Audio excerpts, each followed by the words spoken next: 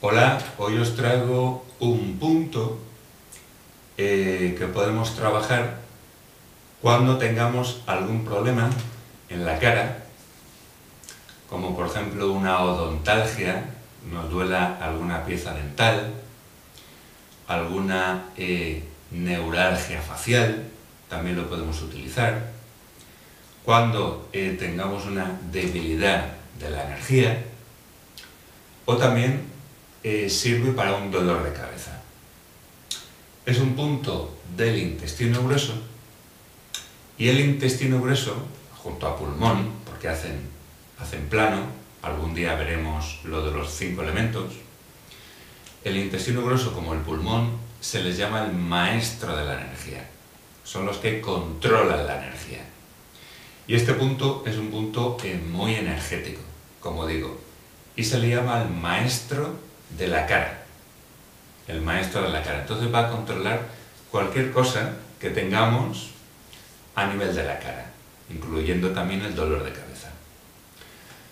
Solo hay una contraindicación y es que hay que llevar mucho cuidado eh, de utilizarlo las mujeres embarazadas, porque es un punto abortivo. Entonces yo os recomiendo, se puede utilizar, se puede utilizar mientras no se tonifique. Pero yo os diría eh, que no lo utilicéis. ¿De acuerdo?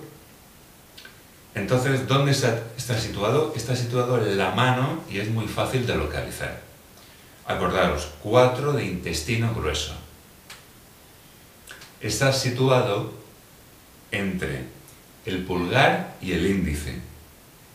Si abrís la mano con fuerza entre el pulgar y el índice, aquí,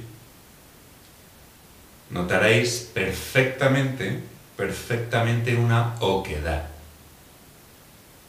¿Eh? Se nota perfectamente esa oquedad. Bien, pues ese es el 4 intestino grueso.